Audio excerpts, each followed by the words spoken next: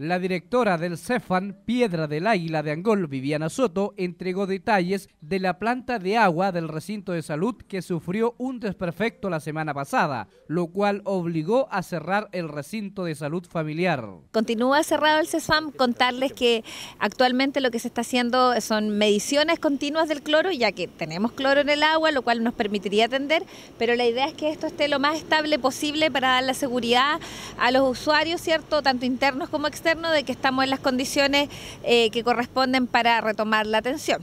Por lo tanto, dentro del día tendremos los informes correspondientes. Por lo pronto, el, cloro tiene, eh, el agua tiene cloro y el bacteriológico señala que no hay presencia de bacterias en el agua. Por lo tanto, ya se encontraría limpia, sin contaminación lo que se está a la espera ahora eh, de los resultados finales para abrir nuevamente. Así es, los resultados finales los deberíamos tener ya por parte de la autoridad sanitaria hoy día más o menos 4 de la tarde, estamos claros de que nos vamos a reunir con el administrador municipal para poder dar la autorización y ojalá, Dios mediante, retomar todo el día miércoles. Mañana nos da la posibilidad de seguir midiendo el cloro al no tener paciente y tener 100% la certeza el día miércoles.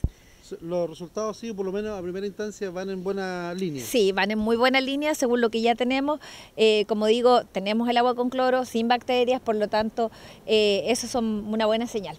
Actualmente nos imaginamos que también se ha costado mucho trabajo, muchas horas médicas, van a tener que aplicar otro plan de contingencia. Sí, eso es muy cierto lo que usted dice. Efectivamente, otro plan de contingencia va a tener que ser ampliar la cantidad de horas de atención. Probablemente estamos viendo la extensión horaria, reforzarla con más profesionales.